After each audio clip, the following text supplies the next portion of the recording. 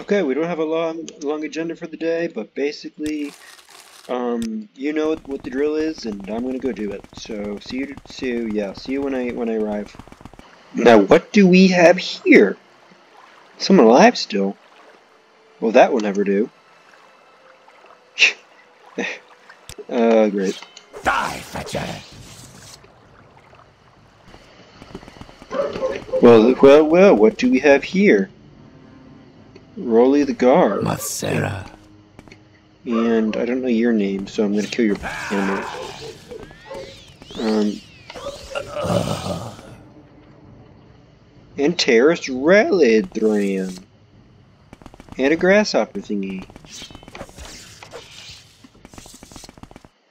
So many beautiful murders today. Well, I found two victims.